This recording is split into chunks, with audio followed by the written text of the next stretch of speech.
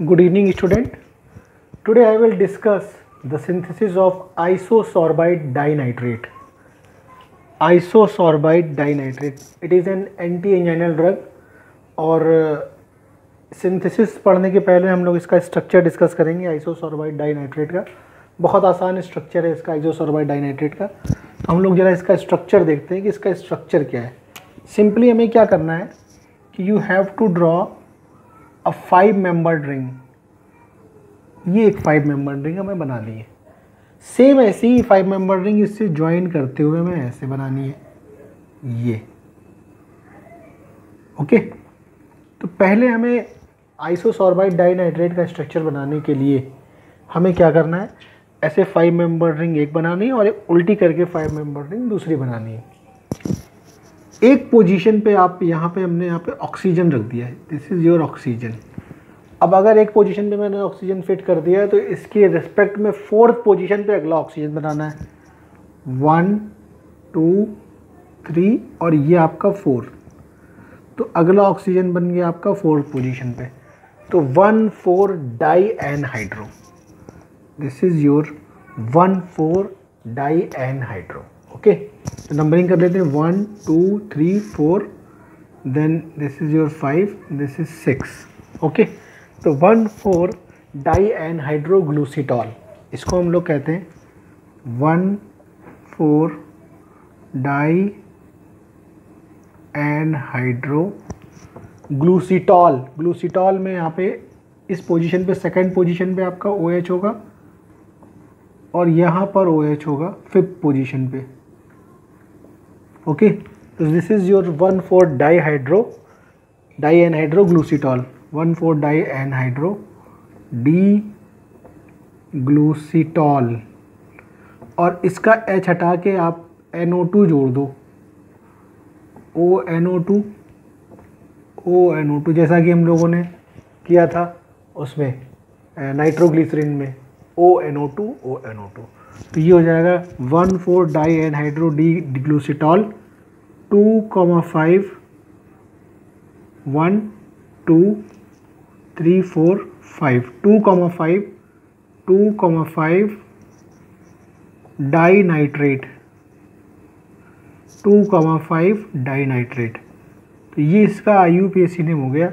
One four dianhydro D glucitol two five dinitrate इसकी synthesis का starting material भी glucose है। Glucose is the starting material. Glucose का structure हमें मालूम है कि ग्लूकोज का स्ट्रक्चर होता है C H O C H O H plus minus plus plus this is your D glucose ये डी ग्लूकोज का स्ट्रक्चर होता है जिसका कॉन्फ़िगरेशन ये है. Plus minus plus plus. Plus minus plus plus का मतलब क्या होता है? प्लस माइनस प्लस प्लस का मतलब होता है कि प्लस का मतलब O H right side minus का मतलब ओ एच लेफ़्ट साइड तो आप देख सकते हो यहाँ पर जो कायरल कार्बन है, इसका ओ एच राइट साइड है तो ये प्लस हो गया। इसका ओ एच लेफ़्ट साइड है तो माइनस हो गया। फिर से इसका ओ एच राइट साइड है तो प्लस इसका ओ एच भी राइट साइड है तो प्लस तो इस configuration is plus minus plus plus okay so this is your D glucose इसको हम लोग कहते हैं D glucose D glucose D glucose is the starting material for the synthesis of isosorbide dinitrate अब इस डी ग्लूकोज को मैं कैसे लिख रहा हूँ? ज़रा इसको लिखने का स्टाइल आप लोग देखेंगे बहुत ध्यान से। इसी को मैं लिख रहा हूँ सेम टू सेम कैसे लिख रहा हूँ आपको? उसको देखना है। इसको हम लिखेंगे ऐसे। This is your C H O ये सी एच ओ हो गया सी एच ओ के बाद हमें यहाँ पे लिखना है next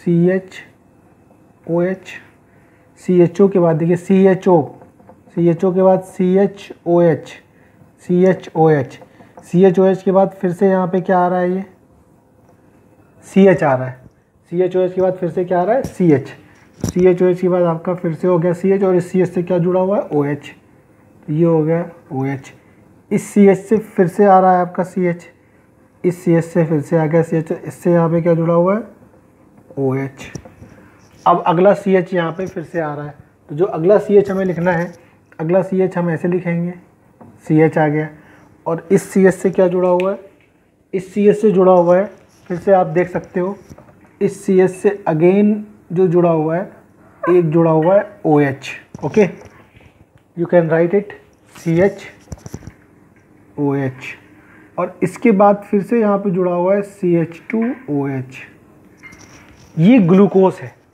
जैसा कि मैंने आपको दिखाया आप चेक कर सकते हो this is your C H O C H O C H O के बाद C H O H C H O के बाद सी एच ओ एच फिर से सी एच ओ एच फिर से सी एच ओ एच फिर से सी एच ओ एच फिर से सी एच ओ एच फिर सी एच ओ एच फिर सी एच ओ एच और फिर C H two H C H two H तो मैंने बहुत आसानी से ग्लूकोज का स्ट्रक्चर लिख दिया आपको मालूम है।